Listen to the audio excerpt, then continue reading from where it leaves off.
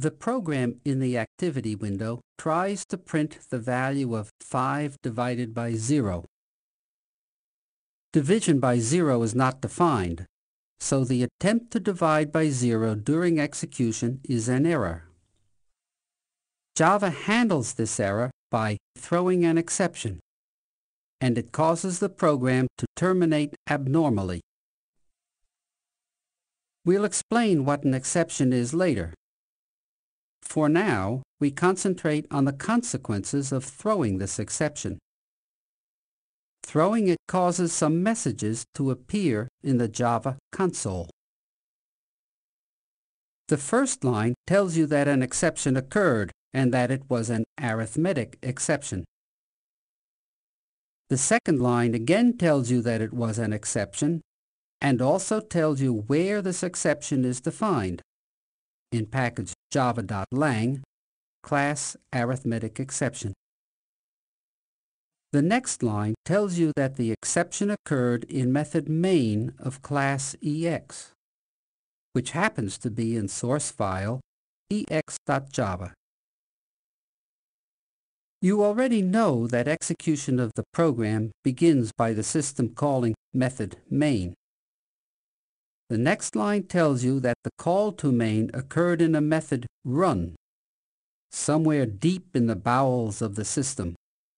In source file jmawt context impl.java. Finally, the last line tells you that this method run was called by another method run in class thread in source file thread.java. The output might look slightly different depending on the system you are using, but the contents should be the same.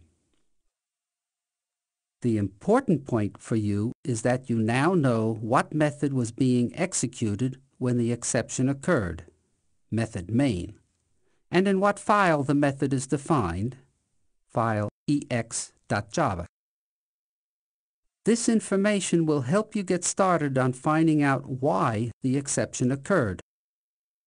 The rest of the information is not very helpful, and we will not show it again. When an exception occurs, you have to study your program to find out why and then correct the error. As mentioned above, the messages in the Java console tell you the kind of exception that occurred and the method that was being executed at the time, and this can be helpful. But the Java console will contain a bit more. To illustrate, let us change the program so that the division by zero occurs within a different method. We'll get rid of the comment to save space add two more static methods, and change the body of method main to call method first. Execution now begins with the call of main, which calls first, which calls second, which attempts to divide by zero. This list of calls that have been started but have not completed is called the call stack. When the attempt to divide by zero occurs, the same exception is thrown and the following appears in the Java console. As before, the first two lines explain the nature of the exception.